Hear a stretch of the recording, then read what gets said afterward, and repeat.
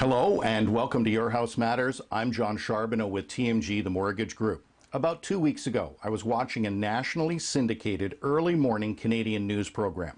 The host of the show was speaking with a financial expert and they were talking about mortgage rates.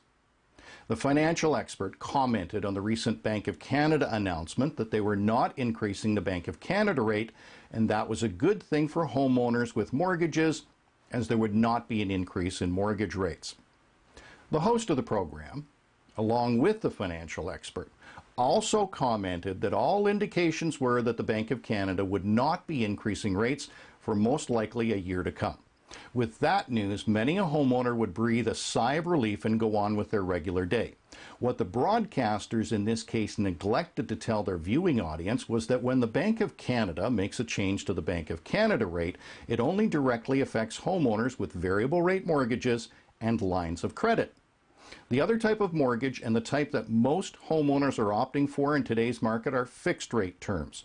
In actual fact, fixed rate mortgages have increased three times since the last Bank of Canada announcement by a half a percent. What our trusted news broadcasters failed to talk about was the fact that changes to fixed rate mortgages are tied to what is happening in the bond market. The bond market is like the stock market where prices go up and down on a daily basis. Mortgage lenders will buy a five year bond at, say, 1.5% and then lend it out as a five year mortgage at 3%. If the price of the bonds goes up, as it has in the last couple of weeks, then mortgage lenders will increase the pricing on their fixed rate mortgages. While our friendly newscasters were technically correct, they only told the public half of the story.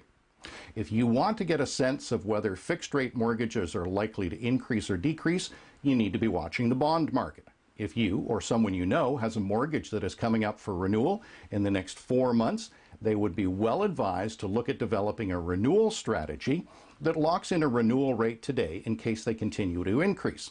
If you'd like more information on a strategy that will favor the borrower and not the bank, you'll find a link to my renewal strategy at the end of this video. That's all for this edition of Your House Matters. Thanks for watching.